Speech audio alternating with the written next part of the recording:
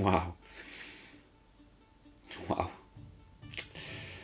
Produksjonskvaliteten på det spillet her Du får det ikke bedre, altså. Dette her er så utrolig bra eh, produsert spill, med vanvittig flotte komponenter. Eh, skikkelig bra grafikk i bakgrunnen på alt som er. Det er liksom er detaljer på detaljnivå. Altså, det er så mye i det spillet her av det visuelle. Så da gjenstår det bare å finne ut Er dette et gøy spill også. Velkommen til Brettspill med takras. Denne gangen skal jeg ta for meg spillet Oi. Scythe. Det spillet her fikk vanvittig mye medfart på Kickstarter da det var lansert der. Og det er ikke helt uten grunn heller, når du ser oss og bare fantastisk det ser ut. Men eh, det kommer jo også fra et selskap som heter Stonemire Games. Et veldig anerkjent navn i brettspillmiljøet. De kom bl.a. med Viticulture og Euphoria. To veldig gode spill. Jeg har ikke spilt Viticulture så mye, men jeg likte det da jeg spilte det. Så det er liksom, for meg så er dette her Ja, det her vil jeg prøve. Og det er et sånn såkalt eurogame med litt kriging og sånt nå. Eh, vil det funke? For det jeg liker veldig mye som tematiske spill. Og med den innsatsen de har gjort for å få spillet til å få et så visuelt eh, inntrykk, så må det jo være noe i dette, ikke sant? Hello. Spillet for denne anmeldelsen her ble stemt fram av mine Patreon-støttere. Tusen takk til dere som støtter meg på. Patrion Patreon er et støtteprosjekt hvor du kan gi støtte til prosjekter som du liker på nettet. Og jeg har gitt deg muligheten til å stemme fram hvilke spill jeg skal anmelde i framtida. Så denne gangen så var det Scythe som var på ønskelista. Så eh, jeg håper du virkelig setter pris på dette. Og hvis du ønsker å støtte du også, eller bare eh, ha- stemmen på, på hvilke spill som kommer komme i framtida, så sjekk inn på Patreon. Så tusen takk igjen til dere. Og vel, vi fortsetter videre på episoden. Det du ser her, det er jo selvfølgelig da kickstart-utgaven med alle sånne stretch goals sånt som er. Eh, Så du vil ikke få det samme hvis du kjøper det i butikken i dag, men du vil få mye av det som ligner. Du vil ikke få med disse eh, flotte eh, ressurskomponentene, du vil få pappbrikker til det, og metallpengene også vil du heller ikke få.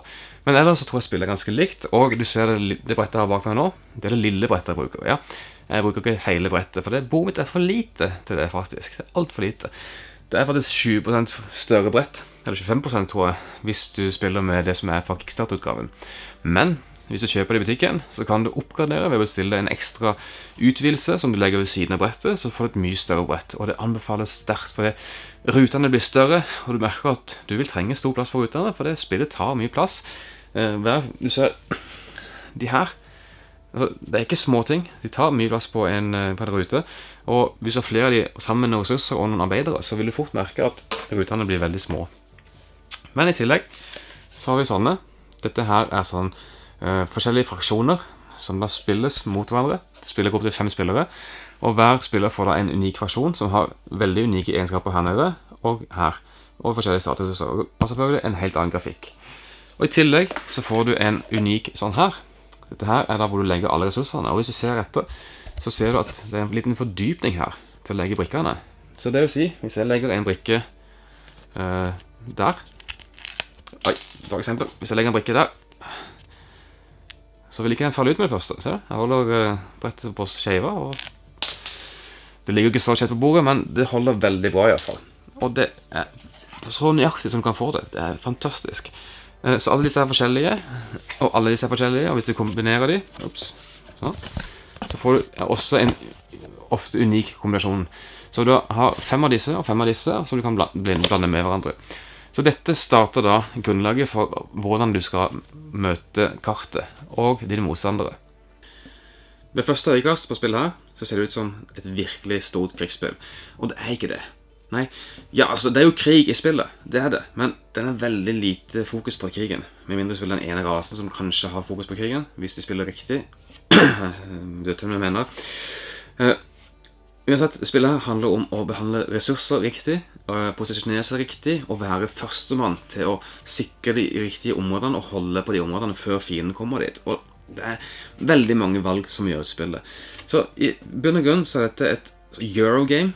Du må passe på å være på riktig plass til riktig tid og ha ressursene du trenger uten å miste de til fienden. Ja, ellers så er det jo det brettet her som på en måte viser hvordan du bygger opp den motoren du har. Så jo mer du gjør her, jo sterkere vil din handlinger bli. Så jeg tror jeg skal gå rett på sak og gjøre disse handlingene her. Men før vi gjør det, så sier jeg hvordan du kan vinne spillet. Så på siden her så har vi en sånn skala som viser hvor populær du er i samfunnet her. Og det er viktig å være populær, eh, for det gir deg mer poeng. Så jo mer populær du er, jo mer poeng vil du få for de forskjellige tingene. Sånn som eksempel stjerner. Stjerner er det som avgjør slutt, når spillet slutter. Hvis én spiller får sin sjette stjerne her, så stopper spillet sånn umiddelbart. Og du begynner med poengtelling. Veldig kjekt å bare stoppe sånn. Ikke noe sjans, siste sjanse til å gjøre en siste Nei, du må bare stoppe. Eh, for å få en stjerne her, så må du gjøre forskjellige ting. Du må ha klart å oppgradere alt som er mulig å oppgradere. Du må ha fått ut alle dine max. det er de store eh, sakene her. De er forskjellige for hver farge. Du må ha fått ut alle fire bygningstypene dine. Du må ha fått ut fire eh, rekrutter som hjelper deg eh, til å ta nytte av naboene dine sine eh, handlinger. Du må ha gjort en spesielt hemmelig oppdrag. Da får du en stjerne her. Eller hvis du vinner én eller to kamper, så får du stjerne der per kamp. Men ikke tre, ikke fire hver. Eller hvis du har klart å komme på toppen her på popularitet, stjerne da òg. Eller på toppen på militærstyrke, stjerne da òg. Mange måter å få stjerne på her. Men det å plassere den siste stjerna betyr ikke at du vinner. For det enda så er det poengtelling som skal gjøres når noen plasserer en sjette stjerne. Så jeg har da sett en sjette stjerne her og ikke vunnet. Og det er en prestasjon. Det er faktisk en prestasjon. Det kommer jeg tilbake til. Eh, så handlingene. I begynnelsen av spillet så har du da din egen fraksjon, som har unike egenskaper her til mekkene og en egen oppi hjørnet her. Men du har også et eget brett. tilfelle her så er det engineering. Så alle disse her vil ha forskjellige eh, kostnader og belønninger. Eh, men akkurat nå så ser du brettet er fullt av brikker på. Jo færre brikker du har jo bedre er det på en måte. Så vi kan begynne her. Dette her er en markør som viser hvilken eh, handling du tar. Du kan ta den handlingen til hele kolonnen, eller den handlingen, eller den handlingen, eller den handlingen. Så det er fire kolonner her som er forskjellige handlinger på seg. Og oppbygginga vil være forskjellig fra spiller til spiller. Ta for eksempel her oppe, så har du Produce med Upgrade. Hvis du ser på røde spiller, så har du Move med Upgrade. Og litt andre kostnader her på upgraden, ser du. To oljer, tre oljer. Én penge, to penger. Veldig forskjell på det. Denne markøren her viser hvilken handling du har gjort forrige runde. Det betyr jeg kan ikke bruke samme handling igjen. Denne indikerer at jeg må gjøre noe annet neste gang. Så jeg kan gjøre den, den eller den handlinga. Når jeg gjør en handling, så kan jeg velge å ta den øverste handlingen. Du ser det er todelt. Og den nederste handlingen. Eller jeg kan gjøre den ene eller den andre. Men hvis jeg vil gjøre begge to, så må jeg alltid ta den øverste først, og så den nederste. Så her er det produce. Da produserer jeg på to forskjellige eh, hekser, altså ruter, som jeg har Eh, arbeidere på. Og da produserer jeg den ressursen som de står på. Og hver arbeider vil da produsere én ressurs. Etterpå så kan jeg betale tre olje hvis jeg har det. Da kan jeg oppgradere. Og oppgradere betyr å ta en av disse brikkene fra en hvilken som helst topprad her, og dekke over en hvilken som helst nede for å gjøre det billigere i framtida. Så nå er det bedre her og billigere der. Så det er vinn-vinn på oppgradering. Oppgradering er veldig bra, og du kan gjøre det seks ganger. Det er det. I tillegg så, kost, så, får jeg to penger for å gjøre det. Det står her. Senere så kan jeg gå her for å en, betale en penge. Alt er godt, er det kostnader. Og jeg kan da ta to ressurser, så lenge han arbeider på brettet. Eller jeg kan ta to popularitet, som står her. Og hvis jeg har bygd denne bygningen her, så får jeg en ekstra power. Så det å sette ut bygninger er bra. Så kan jeg betale tre ressurser, og da får jeg ut en mekk. Ganske enkelt. Så her kan jeg bli sterkere i militærmakt, eller ta et kampkort. Og kan jeg få også en popularitet hvis jeg har bygd den bygningen her, hver gang jeg tar den handlinga. Så betaler jeg tømmer, så får jeg et hus, virksomhetshus, bygger det, og penger. Kjekt. Her så kan jeg bevege meg. Du kan bevege to figurer, to forskjellige figurer, eller jeg kan ta en penge. Betale mat, og så får jeg en rekrutt med en listning, og da setter jeg ut en av disse. Det som er kjekt med en listning, det er at Uh, hvis jeg hadde hatt den her tidligere, og en av mine naboer tar en listhandling, så får jeg den her. Du ser det? Dette er meg i midten og mine naboer. Så hver gang de tar en, en listhandling, så får jeg et kampkort. Det samme gjelder for alle de andre her også. Jeg får belønning hvis de tar den korresponderende handlingen. Veldig kjekt å, å, ha. Så det er alle handlinger i spillet. Og når du kan de, så kan du spille det, egentlig. Spillet kommer også med sånn prestasjonsark. Så vinneren av spillet kan da skrive ned navnet sitt og datoen og hvilken fraksjon de brukte, og, øh, for å få prestasjonen sin skrevet på arket. Og når du har tatt en plass her, så er det opptatt for resten. Så her har nå Terje han har skrevet at han vant med, har minst popularitet, og at han vant med Polania. Så neste gang noen spiller og vinner med Polania, så kan ikke de skrive navnet ditt her. Eh, så det er sånn liten fin eh, liten sak. Det er tosidig også. Eh, jeg viser ikke navnene nå, det er bare det. Det er kjekt å gjøre det, og du merker at ok, nå har jeg lyst til å prøve noe nytt i framtida. For det jeg har ikke klart denne kombinasjonen her ennå, og ja, ikke den kombinasjonen. Så kanskje hvis jeg klarer å vinne med dette her, så vil jeg kunne skrive navnet mitt på dette arket igjen. Så mitt navn står her litt, litt for lite, dessverre. Og dessverre også på den som satte sin sjette stjerne først, og likevel ikke vant. Det er det eneste unntaket hvor taperen, eller ikke vinneren, får lov til å skrive navnet sitt der, ved å sette på en sjette, som en slutta å spille og ikke vinne. Det skjer relativt ofte, egentlig. Som du skjønner, så er ressurser veldig viktig i spillet her. For du må jo faktisk reise rundt og ha ressurser for å bygge en Max, for å bygge hus, for å få nye kutter og for å få nye arbeidere. Du må få med ressurser for å komme deg videre og bli sterkere og sterkere for å møte dine fiender når de blir også sterke. Så krig vil absolutt komme. Men det er også en ting som skjer før krig, og det er nemlig oppdagelse. For hver fraksjon har nemlig også heltesett. Og de er også forskjellige. Så de er helt, helt like i funksjon, men forskjellige utseende på de. Og de er fantastiske, de også. Jeg har jo malt de, så de kommer ikke sånn i boksen, men du vil få figurene iallfall. Og disse heltene de kan reise ut på kartet her og oppdage ting. Og når du oppdager, så tar du et kort herfra fra denne bunka. Denne oppdagelsesbunka her. Franskmannkort. Og så ser du et bilde på toppen. Etterpå så har du tre valg. Og de valgene blir da korresponderet til hva du ser på bildet. Så vanligvis i sånne spill så står det en liten beskrivelse for hva du ser. Mens her så er det bare et bilde, og du må da fortelle dine andre som spillere hva du ser, og hva du kan gjøre. Eh, selvfølgelig, Du er ikke nødt til å gjøre det, men jeg liker veldig godt at noen kan beskrive det de ser, for det vil gi en liten innlevelse i spillet. At du prøver å beskrive det, og så ser du på valgene. Og så, å ja, nå skjønner jeg det. nå skjønner jeg hva som skjer her. Ja, jeg treffer en, en isbjørn i skogkanten her. Så jeg ser noe mekker i bakgrunnen.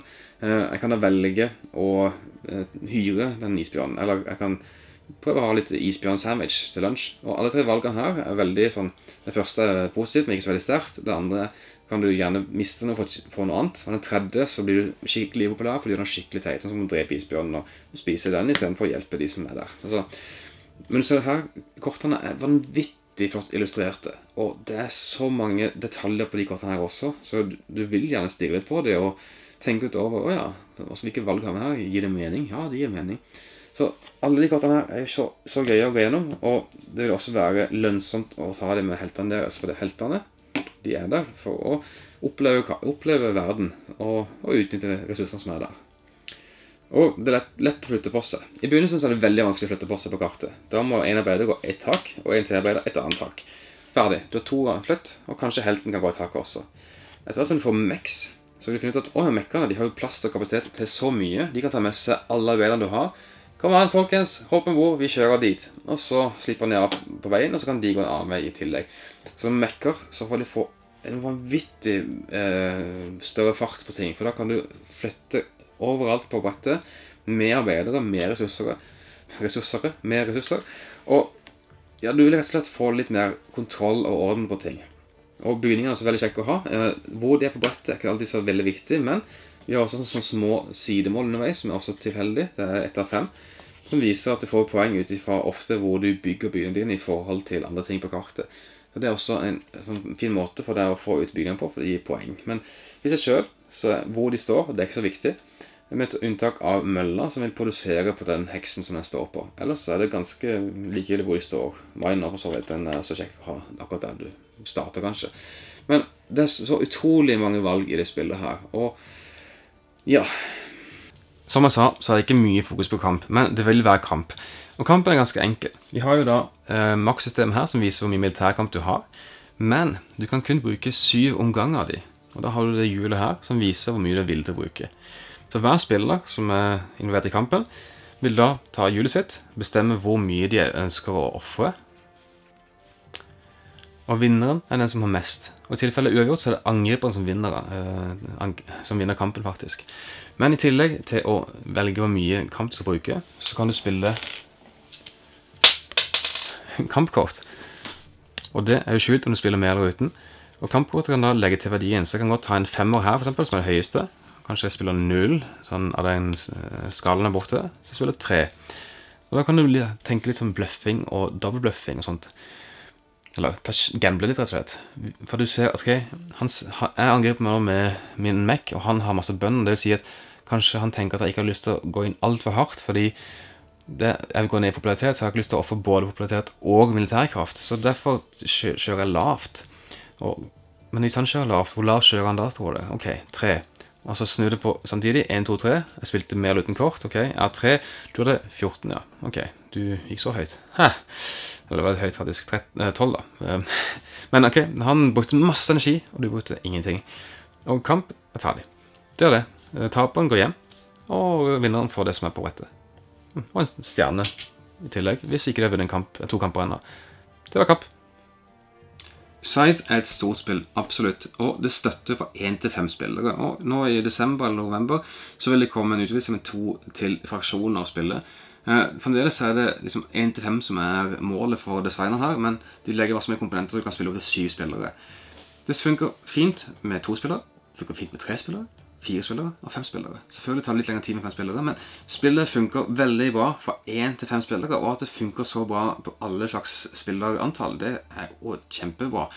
Og ja, kanskje det er sånn her eh, multiplayer solitaire som mange frykter, men det er ikke det heller. Du har riktignok ditt eget å tenke på i begynnelsen, men det blir veldig fort trangt på brettet, og du må fort tenke på hvordan du kan forhindre at fienden bare kommer inn. Og de kan gå over elver plutselig, for de har spesielle egenskaper. Og det er masse du tenker på som ikke ville vært til stede hvis det her var et solospill som du spiller med andre.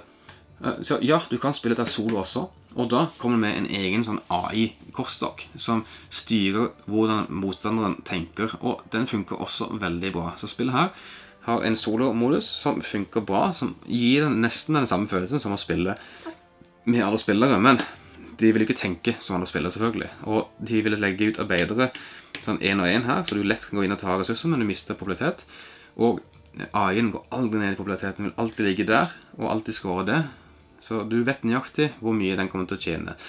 Og kampen der også funker på samme måte som ellers. Du trekker et kort tilfeldig for å se hvor mye den velger, og hvilke kort den spiller med. Og du velger først, selvfølgelig, før du viser dette. Så ja, alt fra én til fem spillere. Like bra med alle sammen. Jeg liker jo fire er et sånn sweet spot, egentlig, men fem funker like bra. Det er bare at det tar bitte litt lengre tid. Og spilletiden er absolutt ikke til å fnyse. For eh, med fire spillere så tar det under to timer.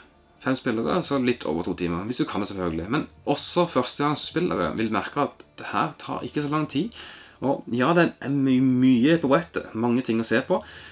Men det det er så lett å komme inn i spillet. Det som ikke er lett å i spillet, det er å vite hvordan i verden du skal vinne. For det er så mye som skjer på en gang. Å ja, du klarte det, og så klarte du det. Jeg klarer ikke det. Uh, ok.